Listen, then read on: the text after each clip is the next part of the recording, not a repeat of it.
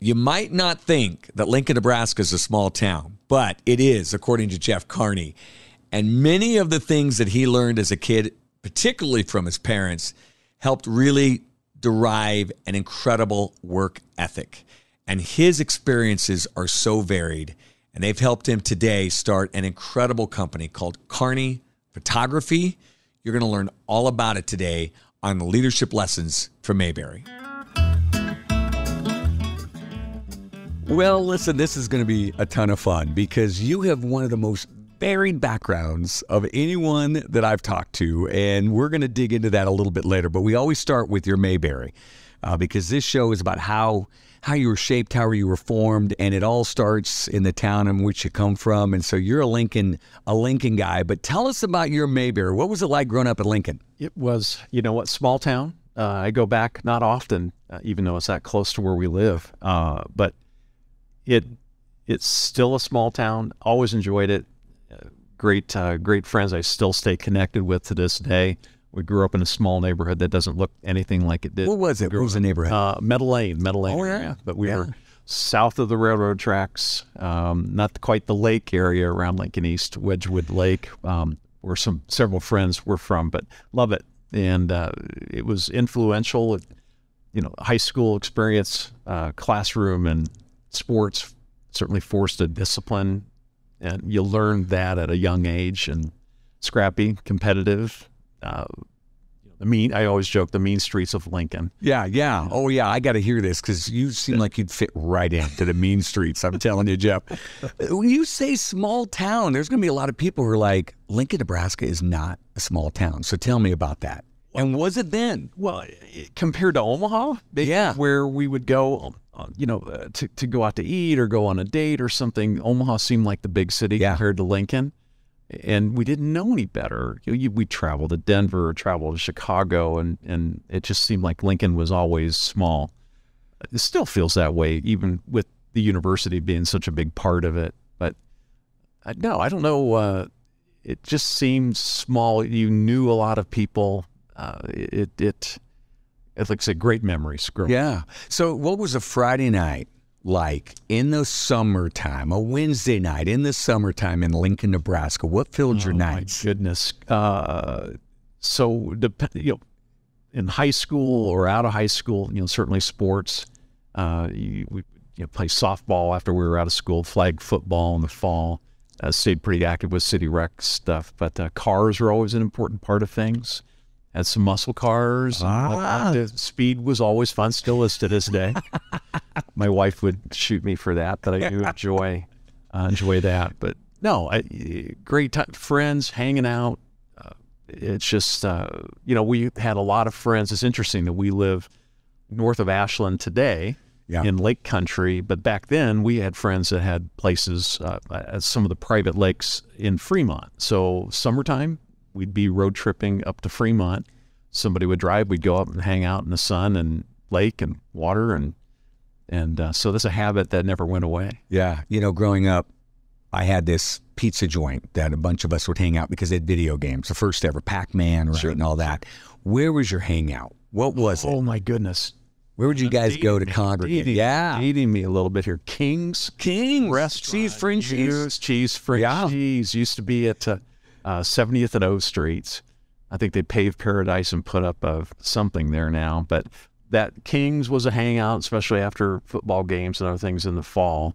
But uh, and into the summer to a certain degree. But you know what? Parks, great parks. Pioneers Park out in uh, West Lincoln. Always fun to go cruise, hang out, and be out there. And but we'd play golf and do a bunch of different things around. There was just lots of stuff to do always in in Lincoln Yeah. uh, because of its size.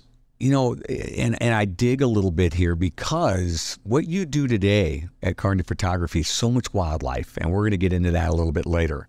So, where did you get introduced to wildlife as a kid, or did it come later? No, that as as a kid, probably uh, high school friends, we'd pheasant hunt. Ah. and so the outdoors, uh, scouting, by the way, let's go step back before even high school.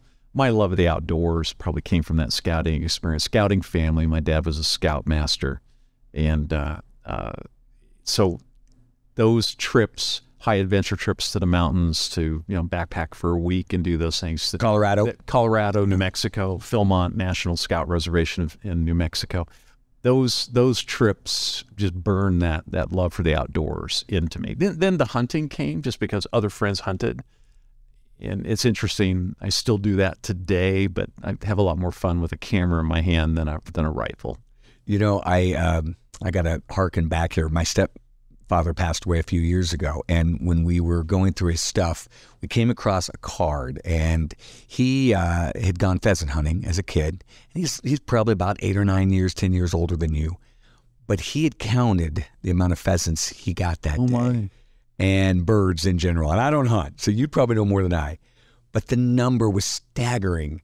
It's not the same today, is it? I mean, you can't go out and just find as many, or or is it? No, it ebbs and flows depending on the season, but certainly South Dakota, our neighbors to the north, much bigger pheasant is a much bigger business, agribusiness for for uh, those north of us. But still, great memories. We were fortunate; my grandparents were farmers. So we have farm ground in our family, and and could always had some place to go.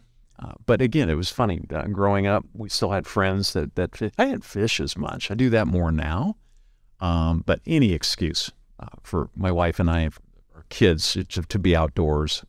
Much winters are getting harder the older we get, just because we love being outside so much. Yeah, that's that is something that we sometimes miss in Nebraska in the cold winters. But you know, you mentioned your parents earlier, and I know uh, they had such a huge impact on you growing up. Talk about them a little bit, the way they raised you, and and all those memories, uh, you know, and, and the things you learned from them as well. So discipline, uh, you you learned quickly. Uh, there were consequences for bad choices. Darn it!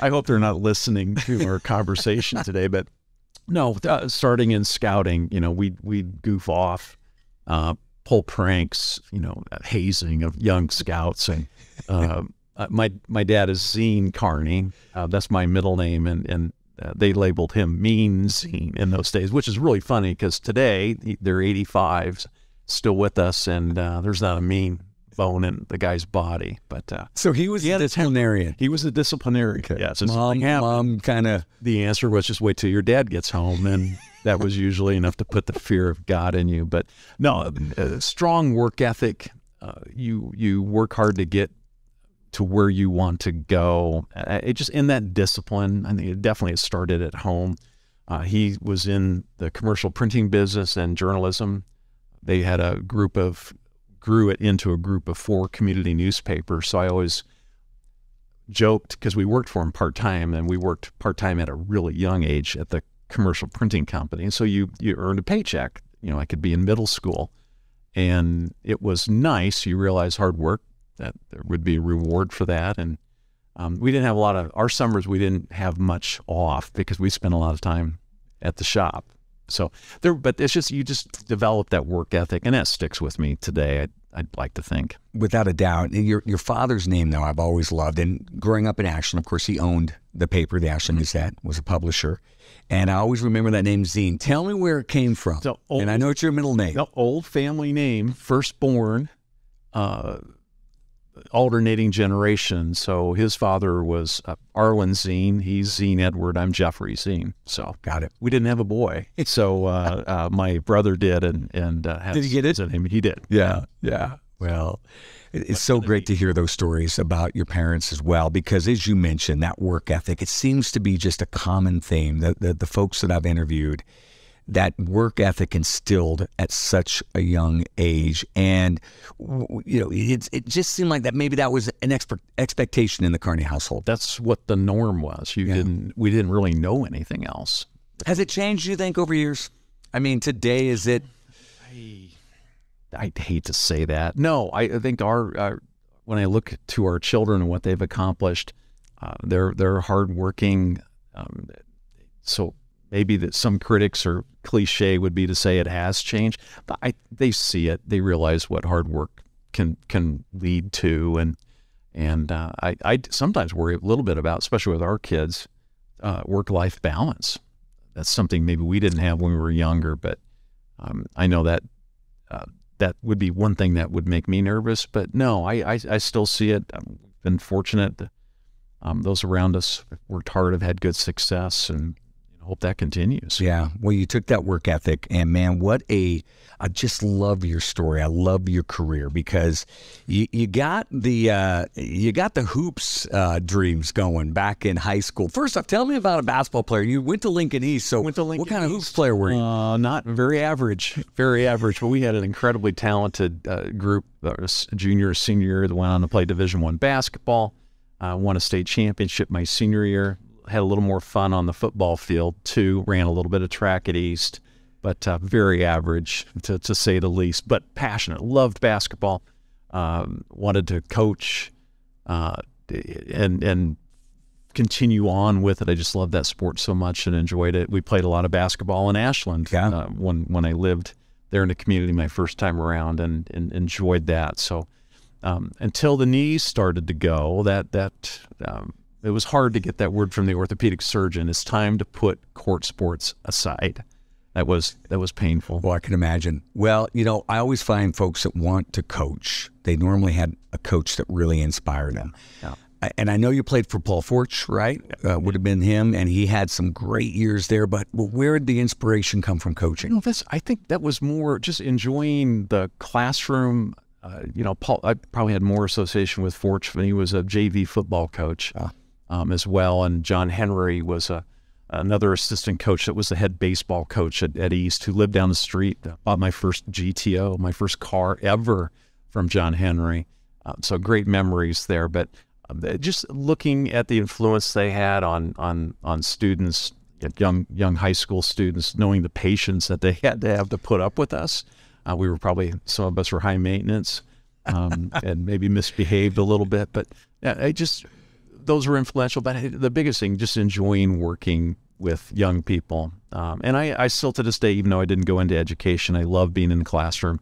I teach, uh, have taught adjunct faculty at the University of Nebraska in Lincoln, adjunct faculty at Creighton uh, as well in uh, journalism programs there. And so that now you know that's that's taboo, right? You know, you can't do Creighton and Nebraska, right? Is, not that a, JSTCR or what do they call them? Yeah, I was conflicted, but uh, it worked out well for my uh, my schedule before our company grew, and then suddenly traveling. The the crazy thing, they want you to be in town to teach. Uh, you couldn't, uh, but my travel schedule made that hard toward the end. But yeah, but no, great memories, and always have enjoyed being around uh, younger people learning especially with the athletics. Yeah, it's funny how careers take a turn. You go from wanting to be a coach, Peru State, your knee starts to give you problems, so you're like, all right, maybe maybe journalism is a little bit better on the body. And so initially, are you thinking I want to be a writer and be in publishing a little like your father, or are you thinking photography all the way? I at in at Lincoln at the School of Journalism there at Andersen Hall, they didn't have a photo discipline. It was part of the news editorial sequence. And I do remember disappointing a professor, uh, Bud Pagel, early in my career. Uh, I thought I was good at writing. He thought I was good at writing, wanted to encourage that. I had more fun documenting life uh, as a photojournalist. And he was kind of upset when I opted to go really pursue photojournalism full time rather than than the reporting. He never never forgave me for that. But uh, it's it's it was just something I really connected with. Uh, and then, by the way, you know, being attracted to sports, covering sports, other things, it was just those areas I was passionate about. And that's the so area. good transition. Yeah, you seem to gravitate, obviously, sports and wildlife. So, wh- where was that moment, though, where you're like, this is it? I know I enjoy photography. I know this is what I want to do. Was there a moment? Was it more incremental? Well, I was so in college, besides working for one of my parents' community newspapers. That gave me a great taste for things, but that still involved a lot of other work the writing, the pagination, putting the newspaper together. I, the, the, the, photography is what stood out. So, frankly, um, I was fortunate enough in college at the university in Lincoln to be a stringer for the AP throughout school. It paid better than the Daily Nebraskan. Mm-hmm. And with I did you know where you're going there, and you get a national a national audience too, you, right? With the AP. exactly yeah. your work would appear in, in national publications, and, and, so I enjoyed that. But there were some pretty big stories that I just happened to be fortunate to be around. When United Flight 232 crashed in Sioux City, yeah. uh, Nebraska, I was out Sioux City, Iowa. Sorry, I was out actually mowing my lawn and the phone rang. It was New York calling, saying you're the closest photographer we have. Roll. I remember driving. Probably should admit this on on well, you said you like. Yes, and I made record time from Lincoln to uh, Sioux City to cover that big story. It was a huge story. I didn't realize it at the time. And then being close, I, it was a story that went on for you know almost a couple weeks. Absolutely, it had a great turnout. You know, where no one died, fortunately, but it was a big story, and it gave you that taste, that adrenaline, the the big news events. Uh, so that that's it's addictive. Yeah, the adrenaline, right? And then being around great colleagues, great competitors. It it it was a way to channel that competitive. We're all competitive by nature. I think those of us that, that pursue certain things, and I could translate that sports competition to to the field. Yeah, to the work. Uh, and you really have you know, a line that just goes almost vertical, right? You started at a very small paper in Ashland, Nebraska, at the Ashland Gazette. But then you, are you're on the staff photographer of AP that you mentioned, and, and I think you had to move down to Kansas City.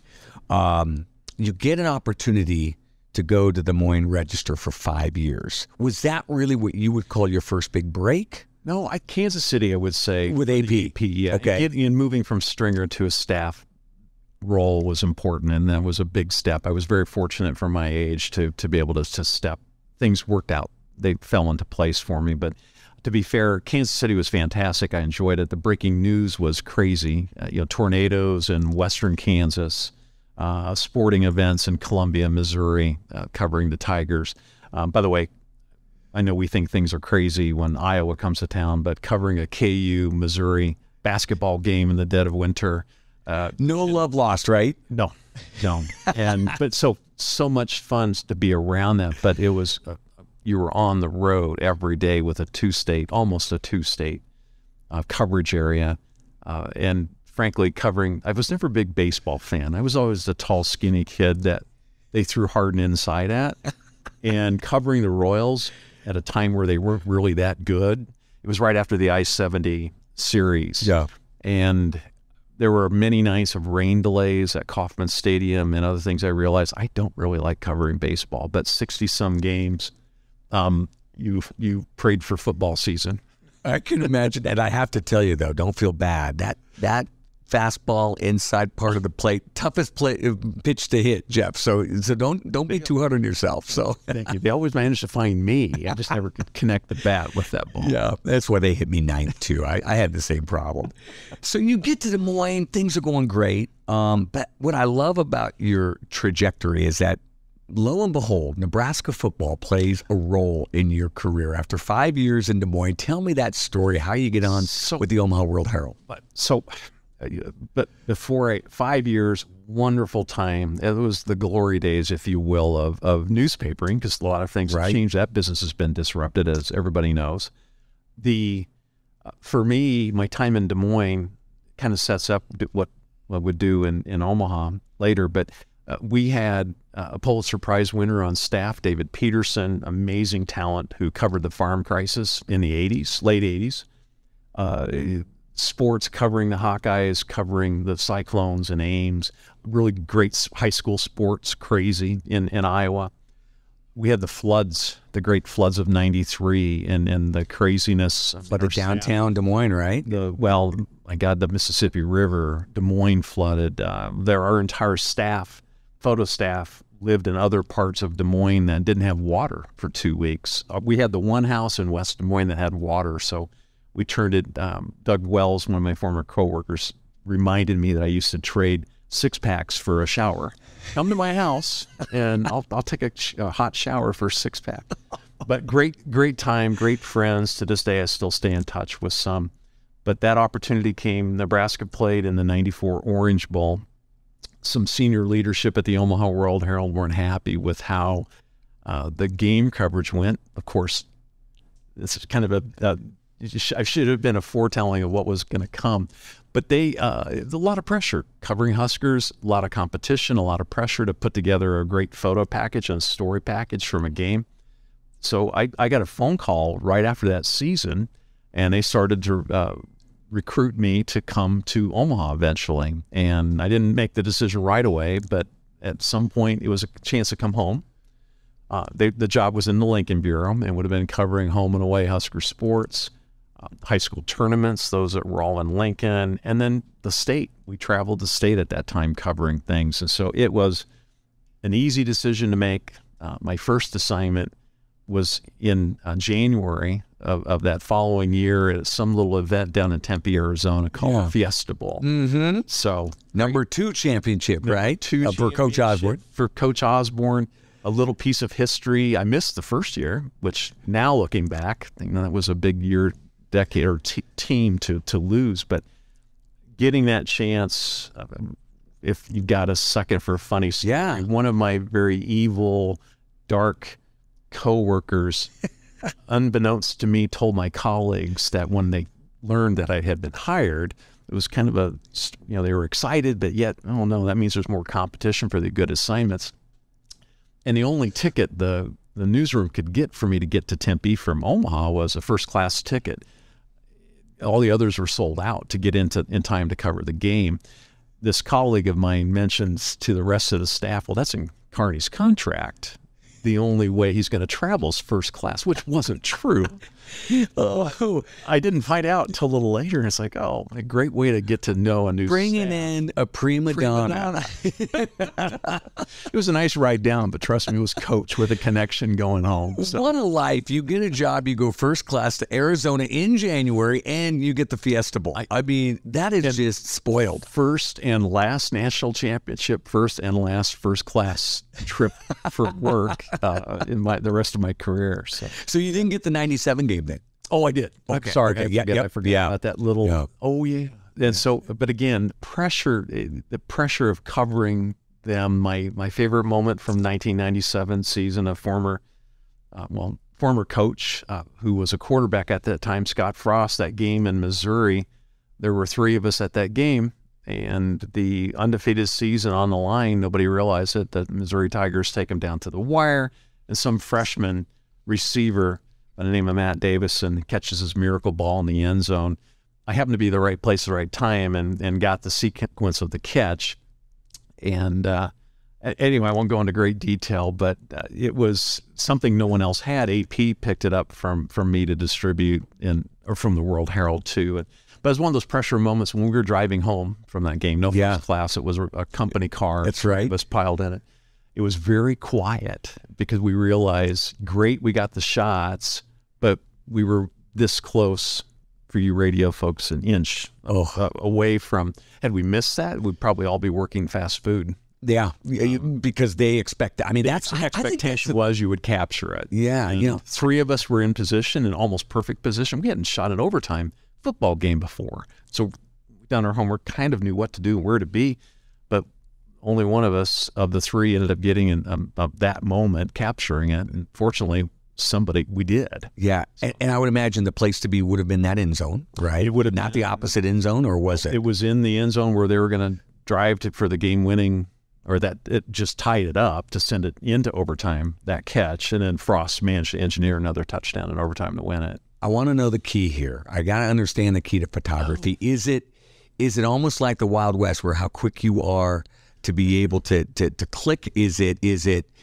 is, what is it that allows you to get that shot? Really good question. I think it's preconceiving what could happen, running through scenarios in your head, not overthinking it. It's all a matter about I mean, photojournalism, photojournalism. The best stuff that I admire that I see people do, it's all about moments. They capture a moment an important moment sometimes, depending yeah. on history or the sporting event. But right place, anticipating that it's going to happen. Sometimes you miss, swing and miss, but at least you're thinking and positioning and trying to do it. But it's eye hand coordination, uh, especially um, being able to capture that, frame it. That's kind of the fun part of wildlife, the things I do now. By the way, pretty low pressure. I don't have editors calling me wondering, A, when am I going to file? B, did you get the right moment? but it's still you've got to capture the it's anticipating you're anticipating action if you tr- pull the trigger on the camera or the, the shutter the, the when it happens you're probably going to be late yeah so, so i'm going to ask you catching it before yeah so the fact that you played football you said you got to anticipate it You played football at Lincoln East. Did that help you? I- I mean, I don't know any of us. I think if I remember, it was a fake dive and then a rollout, right? Yep. So I don't know if anyone would have called that, but was there just something instinctively, maybe because you played football, that allowed you to follow that? Yeah. And of course, the hand-eye coordination doesn't hurt that you were an I athlete, right? think well, one eye on the quarterback and then watching what the line is doing. What are they setting up the pass block? So without a doubt, playing sports growing up had you, you know you can anticipate what you see what the line is doing. You see what receivers are doing. You know who's loafing, and there's no way they're going to get the ball thrown to them. You know somebody running a hard route, and you knew they needed to get to the end zone to to to get it into overtime. So yeah, anticipation and and having a sense of seeing, but your your eyes have to be wide open to, to try to track it, catch that. yeah. Yeah, without a doubt. Greatest shot, the greatest shot you feel like you've ever got. Oh man. Well, let, and let me start here. I want the greatest sports shot that you feel like you've ever gotten, then the greatest shot. That's a really great question. Sports shot, sports moment. Well, certainly the Fiesta Bowl was something that I'll always go back. Was there one shot though in that game? I mean, because the Davidson get is you know, The miracle. yeah, yeah, that that was maybe That hard to top. But Tim, here's the downside today with the, the recent struggles in Lincoln. I'll bring up, uh, I'll put it in my portfolio or have it online, and somebody's going to look at Miracle in Missouri. What? There's a generation that doesn't know it's anything about. Yeah. Nebraska was in the same conference as Missouri. Yes. Um, maybe that moment was certainly got a lot of interest in, in and sold a lot of copies uh, to other publications, licensed that, but um, that's hard to on the sports front. Yeah. That's yeah. Well, I, that's a goodie. That's a real good. Thing. The. Rose Bowl was pretty cool, uh, but the Fiesta Bowl probably the Tommy Frazier's long run, um, that bouncing around that that ended up Broke up of Florida. Florida. Yeah. that, that was a moment that, but it, really more the events. Some of my best images, probably most people don't care about, coming from state tournaments, high schools. Yeah, the emotions are raw, and and you're close. It's not a business like it is for at the college and pro level. So I I'd say that Mm-hmm. for sports. Anything outside of sports that you say is memorable, whether we would know or not know. Well, you know, I'm going to argue my the, the my best work I'm going to be proud of. I hope is around the corner. Yeah. and I haven't taken it yet. But uh, working, I mean, during the floods in '93, President Bill Clinton came to uh, after in the immediate aftermath, and it was devastating to the community. Uh, those the, those floods up and down the Mississippi River too. It wasn't just Iowa that was had a bad '93 summer but a, a, pretty touching moment between uh, a, a woman who was in line for water and, and the president. And it's a photo op. You're in the pool, tight pool with the president. It's it's cattle call. You're in there. Everybody's shooting the same moment, and it's crazy that I captured something that some of my competitors that, that were there that didn't. And so that was fun when the paper came out the next day. Um, And you had that, yeah. that was before Al Gore invented the internet. but but fun. That was rewarding. Yeah. But yeah, I, but you know what? I, I used a drone here just uh, last An incredible shot. last year. Thank you um, to photograph Chimney Rock. Yes. My goal to show life from a different perspective, to show landscapes from a different perspective, and so that that's been rewarding in a very different way. You, maybe you need to be from Nebraska to appreciate that, but It is a fun.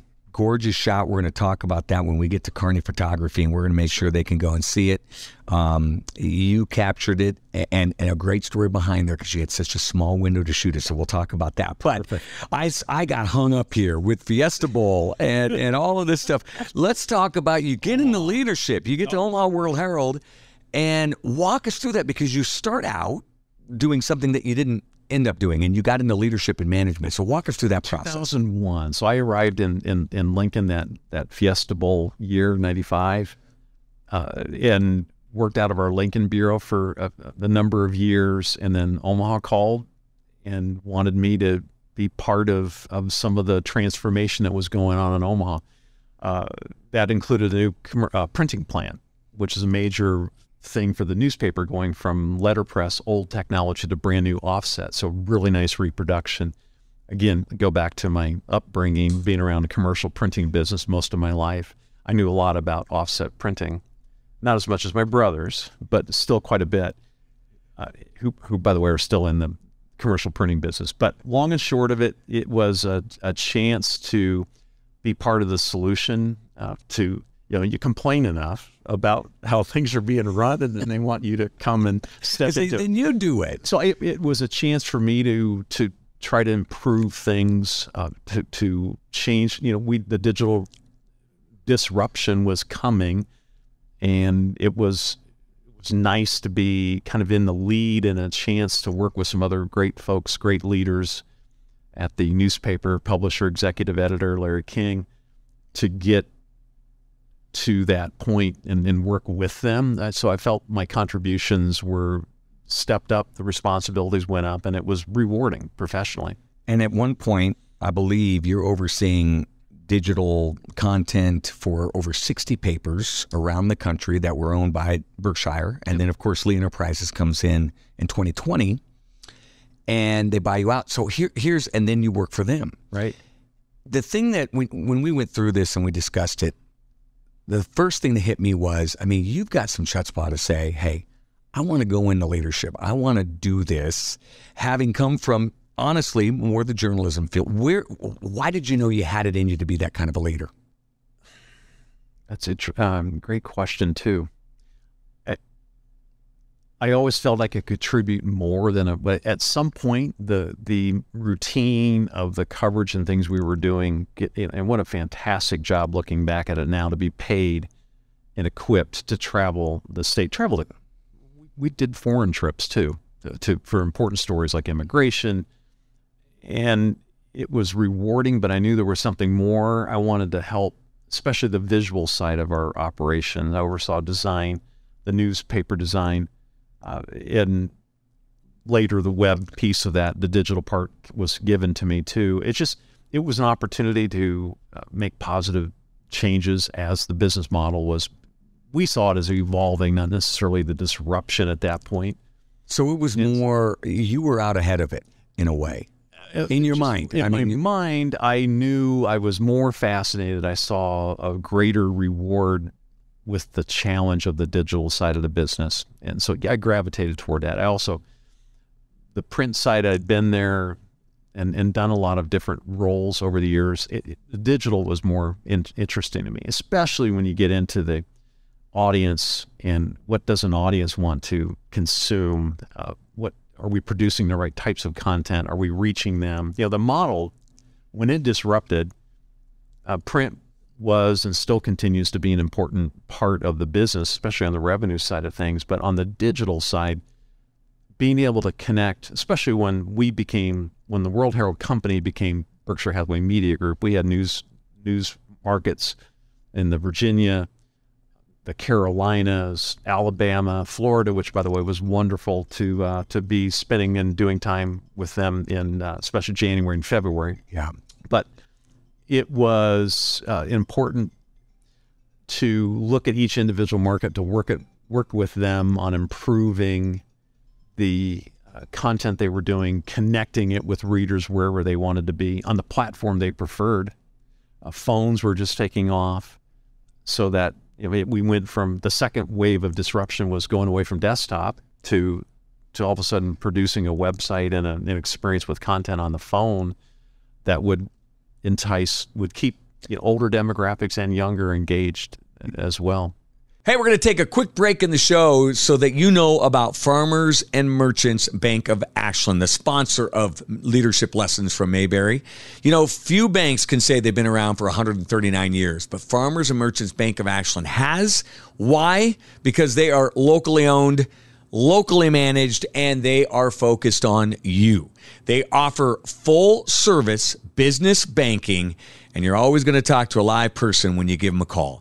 They're commercial lenders. They are more than happy to share their expertise and to help you navigate any business financing that you may need, including SBA, TIF, or NEDCO financing.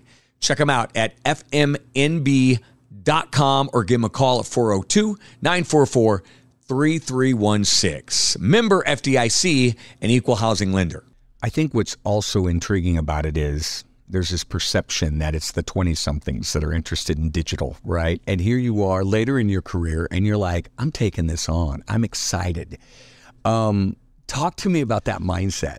First, because I'm terrified still of technology, no, but and that's all right. That is not. But not you embraced it. it. Well, you know, it's that's the it's we all are learners. We're constantly learning new things. And for me, yeah, you're right. That didn't come with we didn't grow up in high school uh, with journalism classes that were teaching you know web and social media that was something you all had to learn and acquire so that was a challenge to keep current and and leading edge with what was working and what would work in our markets but that it goes back to the classroom putting on workshops working with the newsroom to teach and coach them toward uh, being more successful with the content they were producing. That that was the exciting that was the challenge to it. Man every day was something new something different. It was never a one size fits all plan but i also had leadership at bh media group at the berkshire hathaway media group that had expectations for growth. And that sometimes conflicted with individual markets who maybe resented somebody coming in from outside. So you were balancing you had to come in and be the uh, peacemaker and and by the way you realize we're all in sales I talked about that. that. early in yes. Coming in and selling people who weren't interested in what you had to offer was challenging. And so that all kind of played. I've never done sales in my life, but yet I have. Yeah. I never had to, to live on commission only, I guess is maybe a good way to put that. But it all combined where it was just a, an exciting time. It was rewarding when things would work. We had some situations where things didn't work in some markets. But interestingly enough, it wasn't the tools. Everybody wanted to point to the tools. Get me the newest tools, and I'll be able to succeed. In some cases, it was back to leadership. Right. And I always say, but to your point, um, I have a wife, Wendy Boyer, who does not read the printed newspaper. She reads the Omaha World Herald every day from front to back on her phone. And digitally. Mm-hmm. Phone. And she, not rarely desktop, always on her phone and I will say that just because of age, uh, some of our best, I look back to the Omaha World Herald newsroom. Steve Jordan was a longtime business reporter for the World Herald. Embraced social media. In when Berkshire Hathaway meeting, the annual meeting would roll around, there was nobody better at, at engaging online audiences. And again, older, seasoned mm-hmm. reporter who had huge success he would, in many cases, you look to a younger staffer as somebody that you would think would have those skills because they were taught in college, not necessarily. And and so it was always fun to sit back and watch the success they would have. The sports sports staff in in Omaha always engaged and, and did so well. Yeah, same thing. They they were ahead of their time and and a lot of great examples. Sports is breaking news. You need to think fast. You're a lot of competition out there, especially um, digitally when when the internet went crazy. Yeah. Um, but that means means your content can get to more places than it would traditionally through a printed product. So here's the one thing I miss, and by the way, I'm just like your wife. I my favorite thing on Sunday morning was to get the, the mm. printed paper, sit on the back deck with coffee when the weather was nice, and read that paper. Loved it. I never thought, and now I do everything on the phone. I, I read the World Herald and Lincoln Journal Star on the phone. So, ironically, this dog learned some new tricks. but the one thing I'll just throw let's let's just take a side, you know, with me. Let's just take a, a left turn here all of a sudden. The one thing that I hope we never lose, and I want your perspective on this, the writing, and of course, I I yeah. mostly read sports. Sam um, uh, McKewon and, and Tom Shatel. I just, Dirk Chatelain, just phenomenal writers. My worry is when we continue to gravitate towards digital, we're going to lose that great writing. Because do, do, you think there's a risk of that? I don't. I, I do. It's not because of the the medium that whether it's in print, whether it's online, it's not the the form that that content comes to you in. It's the business model, and that's what is being challenged because print revenue is really hard to replace. And the that part, of course, you worry about that as uh, newsrooms are getting smaller. Omaha is a fraction of the size today that it was when I was there in, in office and working full time. It's been in decline. But you know, which which broadcast newsrooms are smaller? I just saw KPTM the Fox affiliate in Omaha is no longer going to have local news. So it's it's a real threat that that disruption and and the the consolidation out there. It's a challenging time. I I want to keep I want to see that that quality writing, and that's what I'll gravitate to. But not enough people are willing to pay for that. And so when you don't support the model, right? Now, Not for profit newsrooms, Flat Water Press, and other examples. Some former talented uh, journalists from the World Herald are in that world now, and I read them online as well. They're they're funded uh, not for profit newsrooms and, and continue to do that good work. It'll appear in the World Herald too, that content. But you the, the quality, and it does stand out. You, you read one bad story, one story, one poorly written story, and you realize how much you miss that yeah, that quality for sure. And it's just the thinking. I mean, look at, at, at Sam McKewon and, and who's now the sports editor at the World Herald.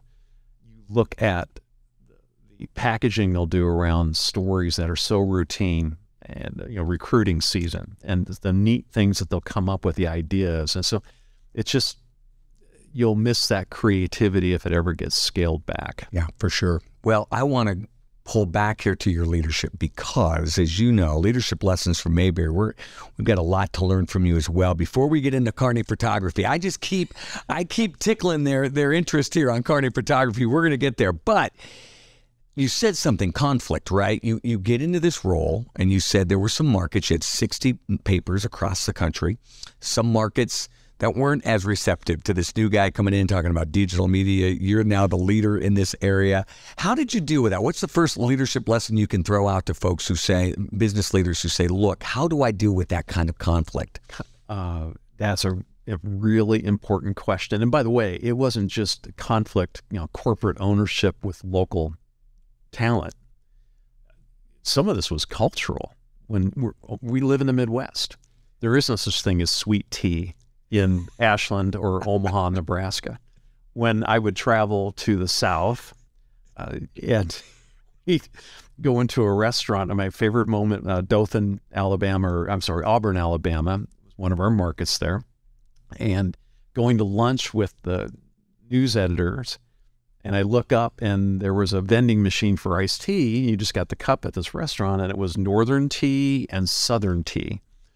And so you realize, man, I'm a long ways from home. So I, I played off of that. Be sure. Coming in without attitude, coming in using humor, just being real with people that they may not have liked the goals and targets that we had uh, set for us, but then justifying the reason for them. You know, they all tie back to revenue. That's the, the, the model as it's disrupted. Newsrooms suddenly realize that they are an important part of the revenue model and so it was trying to explain what the, the why behind decisions, but, and never, re- realizing you were never going to convert everybody. And there were just some people that were turned off no matter what you did or said. But I think being real, being accessible, working hard, uh, we, you know, we would leave on Sundays and travel back home on Friday nights. It was not a nine to five, to, uh, Monday through Thursday gig. But that, that hard work, I think they saw that. And then the biggest thing was showing results those little wins as well as bigger wins, then we could say, you know, show them there's a method to this. We had action plans built in Excel. My my VP, my boss, Doug Heemster was a big Excel guy, and we had to map everything out and we would track success. We wouldn't just come in, throw a bunch of new initiatives and then leave. Yeah. We'd come in and then schedule follow-ups and check-ins on how are we coming. And, and you're doing great in one category, you're behind in the other. Let's talk about why. So once they realized you weren't going to go away, which maybe was their experience in the past with other managers, then the relationship changed. And and for and again, not everybody. Yeah. But the majority, vast majority, embraced it. Yeah. The, the upside or the downside, if they didn't embrace it, they usually figured this is they're going to be consistent. They're not going away, and maybe I need to find something else to do. And so it staff churned and, and there was some turnover, and and yet others rose to the occasion. It just it was rewarding to be a part of it. Yeah, you know it's funny. I, I just interviewed Eric Sherman not too long ago. He uh, owns an engineering firm that you said, and it's funny how great leaders think alike. And and I know you you all have this ability to kind of filter through and get to the answer. But he talked about, look, when you have conflict, it's empathy, right? And it's under explaining the why, making sure they understand the why behind it. Sounds like yep, those are some of those strategies that you use when you have conflict. And you can't win everyone, right? You can't win every win. And I was never great at poker. If we'd ever play, maybe we'll play some. Let's do now. I, it's not good. and don't play golf with you either. But it, it that being even tempered and just never letting them see you, you know, at a high high or a low low. I think that helps too if you put people at at ease. But that empathy, he's spot on. That's huge. Yeah. Well, 2012. I take this back. April of 2022. Um, you know, you decide to take an early buyout, a retirement package, and it's always interesting to me because folks that end up in this situation where they're like, okay, uh, you know, tomorrow I don't go to work, right? It's funny how you just adapt. And for you, you're not ready to sit around. Um, you're ready to get something new started. So tell me about Carney Photography and how that opportunity to take that buyout provided you the opportunity to start a new business. So Lee Enterprises was very good to me. I was one of a couple of people from the senior leadership team they kept, and I had a great run with them. But I knew, even back to the BH Media days, that that I probably wasn't going to end my career. I wanted to do something different. I thought that from early on. I wanted to go back to where I started toward the end of my working life. But we had started planning with the disruption and everything else that we just can't predict the future. You're not in control. And so when the time came for uh, the in the conversations uh, about buyouts and retirement, we were ready, we were prepared, and and so we could do that. And so I was fortunate, very fortunate, and I have a supportive wife that that allows us always helps. So it just so it was great and and when the time came that Monday morning, I'll never forget. It was a very weird feeling getting up, and I had made coffee, and and she took off to work, and I was sitting there, and I did some things, and I came back to the living room, and Rachael Ray was on TV at nine o'clock, and it was a horror-filled moment. I thought, oh my God, I hope none of the neighbors saw the TV and Rachael Ray on. It was a cooking show. It was some sort of an Italian dish. And I thought, this is it. I can't do this. It, to be fair, I had already started mapping what I wanted to do, but I it I just could not sit at home. Yeah. And and I've never been that way. I've always went tried to be proactive and tried to look ahead a little bit. And so as I said, I wanted to go back to doing what I enjoyed, maybe grew tired of. And and so the idea of the photography, going back to that, was rewarding. I didn't want to cover uh, college sports or high school sports, but I parts. I just don't want to do it full time for an entire season. Right. But one thing I had done with Lee, by the way, which I always appreciated, uh, Mr. Buffett's a bit risk averse when it comes to drones, we wanted to start a drone journalism program with BH. Never were able to get it started, get it off the ground because of worries about liability, which is legitimate. But with Lee, it's an important news gathering tool. Immediately, the VP of news said, go. And so I started a, a, a drone program for not all of the 77 markets, but 26 to 28 of those markets. We identified pilots, trained them to pass the FAA certification, and started gathering news with drones. So that was really exciting. Yeah. Fast forward to retirement, I thought one of the things I wanted to do was uh, have drones be an important part of that. So, so yeah, and that's what to, I, I want to, yeah. yeah, where you're at today. And let's talk about Carney Photography because if they call you and say, listen, we got a wedding gig next week, you're not taking that call, folks. It's a whole different business that he is in. So at least I don't think so, right? I'm right on that. Right? Weddings. okay. I've only done one in my entire life. and that was enough? From, from a college roommate at Peru State that I gifted to he and his bride and it was one time, and I will never do it again. So, Brave hand person, but never ever. No, but what, yeah, was nice to pick and choose. So I, I had a lot of connections: the Associated Press, Reuters, USA Today Network, the Washington Post, with a lot of connections with editors from my previous life. And so I immediately networked so that if there were news and feature work that they needed to have done, I had that editorial work that would come my way. That that wasn't as interesting to me. I also, with the drone, looked at. I have neighbors who are real estate agents and wanted me to do aerials of their premier properties and acreages and things that would come for sale. So I enjoyed that too. But I wanted to spend most of my time doing what I never had a chance to do when I was younger and working, which was that that travel and landscape work that and creating photographs that people would want to buy. So I leaned on my skills. I built my website, uh, marketing presence, social accounts. The most painful part of this was explaining to my wife that, by the way, when I worked for media, I never had to buy equipment. 35, 40 years, I never had to buy a camera or a lens. So when I retired, I had that all stayed with the company. So I had to start all over on equipment. So that was a outrageously expensive, aren't they? Yeah. Ridiculous. My daughter is a photographer. Yes. Boy, I sure know. Oh Yeah. my! So I figured out a creative way to do that, and and uh, so then we just were off and running. Yeah. And so So this is really your first totally entrepreneurial venture, though. I mean, you've got right. uh, Have you owned a business before? was I have not. No, Yeah. this is my first time, and, and so yes, that, that there's some pressure, there's some expectations. Revenue is important, and uh, yeah, so that it's. I always felt responsible for revenue, but I never had to write the checks. So let's talk about that person out there that's just getting started in business or they're thinking about taking that big leap. You've just walked through this. What are some steps that you would say you've got to do this to set yourself up for success? well, stick with drones, for example. Uh, that's a popular. A lot of people want to get their license or their certi- certification and fly. It's a really, really crowded space. There's some bad actors out there that will take advantage of people and have you do work for them for nothing. It, it's hurt that space from a freelance standpoint or a commercial standpoint.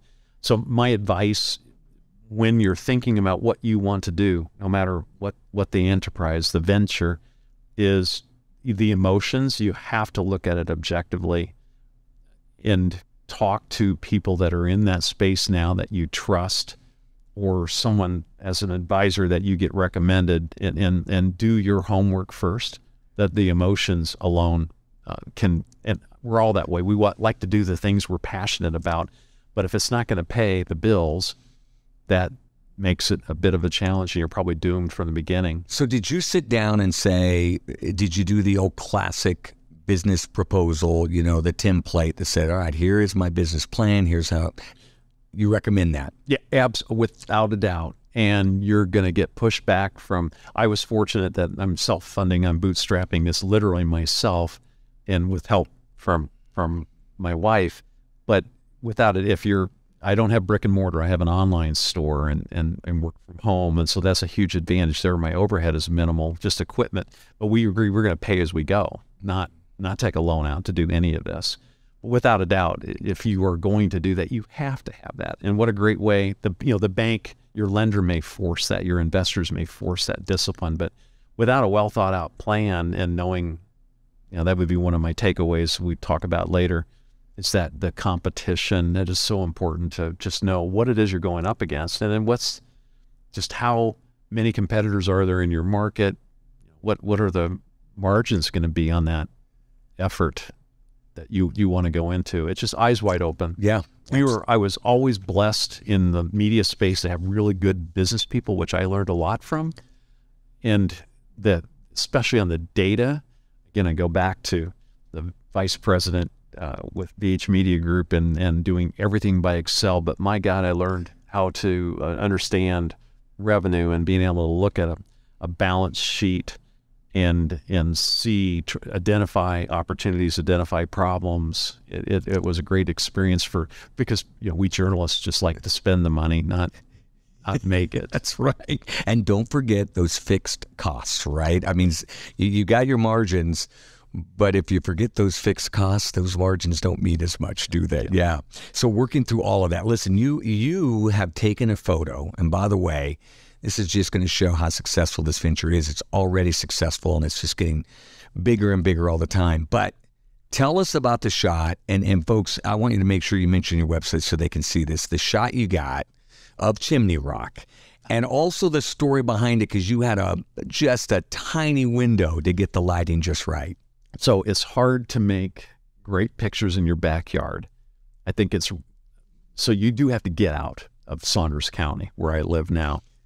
And there's just some amazing places in Nebraska. And the one thing I wanted to do was document those places. And, a lot of them I'd been and photographed in my early in my career. So it's neat to go back to some of these places and, and wide open spaces in the state. And so one of I last August I knew I wanted to I'd gotten my feet underneath me. I had equipment and I I kept my drones. I still had my drones and but I wanted to do a swing through the sand hills, through the Black Hills, and then my make my way back home eventually. So I was out on the road for a week, and I looked at Chimney Rock and thought, what I, I want to take, I'm going to capture some moments, and I want to do it in a way that somebody hasn't seen. It's not shooting at night when the lights are on it. That's been done stormy clouds over it. That's been done. Framing it with the windmill. That's been done. Great work, by the way. Oh, but I wanted strategy, to try something yeah. different. So the drone it was the answer. And so I needed to have cooperation from Mother Nature, meaning a good sky.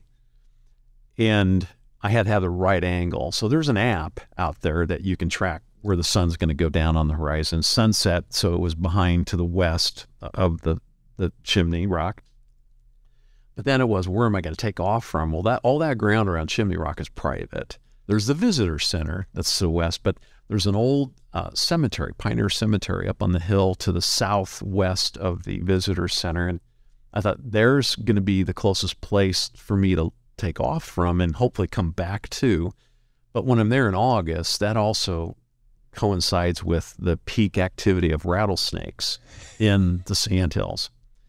And it didn't dawn on me until I got there and I got my equipment all out and it, I'm watching the sun and it's like, okay, this is going to be, this could be a good night. This could be the moment. And I got all my gear ready. And then I realized that for me to, to take off and fly to get the angle that I wanted, um, the FAA has rules about how high and how far away you can go. And I was still within, I was compliant. I was within those rules just far enough away you could barely see the the strobe going off to mark where the drone was. I could tell on screen and, and yeah. GPS where it was, too. But it just dawned on me when I was out there and flying and waiting for the moment, and I had enough battery life to capture it and get back safely. I realized what happened if I'd have a fly off, which happens. You lose signal and your your very expensive drone flies off.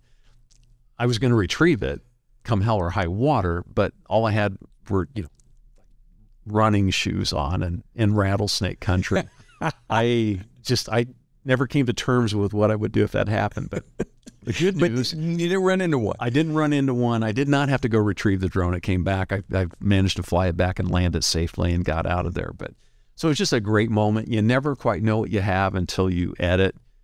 You get it on the laptop and you see it. You never ever predict, jinx yourself that you've got the moment and uh, it was it was fun for me. It was the best picture I'd taken of Chimney Rock and over the years, and it was nice to have peers look at it and say they liked it. So well, listen, I can tell you it's gorgeous, and you, have sold some prints to that, and uh, we I entered for the first time in a very very long time photo contest. That's that's something you used to do when you were younger in your career, trying to establish a name.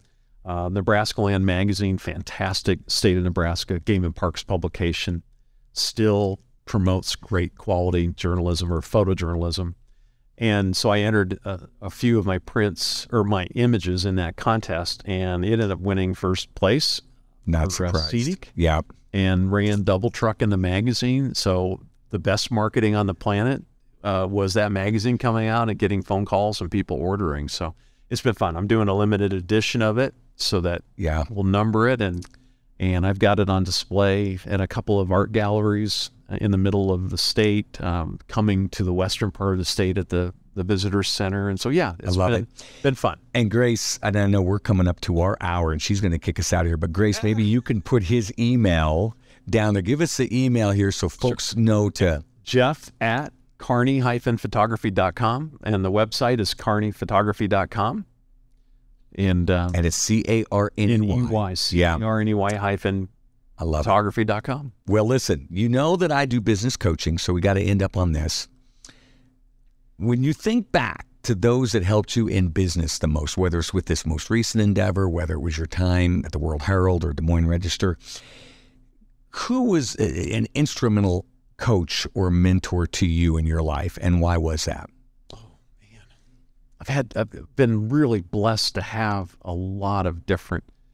Uh, the the CEO and publisher of the Omaha World Herald, Terry Kroeger, very influential, no nonsense, laid back guy, very effective at communicating and leadership.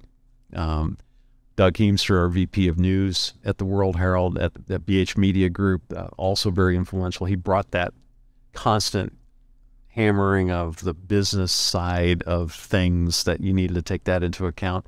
Uh, and I do. I at, at, one end of the spectrum, then I go back to that work ethic, my uh, my parents and my my father especially. Without a doubt, and patience of my father. I'm not a patient person to this day. Uh, he was pretty patient. He was a patient man. Yeah. yeah. Well, he did. He did a great job, as your mom did with you. And I'm telling you, what a career this has been a ball learning about all of this. And um, I tell you, Carney Photography is a can't miss. So awesome. make sure folks should check it out. As Grace will put it here, if she hasn't already at the bottom of the screen, so you can check out what uh, all the offerings are. But Jeff, this has been fantastic. Thank you so much. Absolutely. Yeah. Thank you. You bet.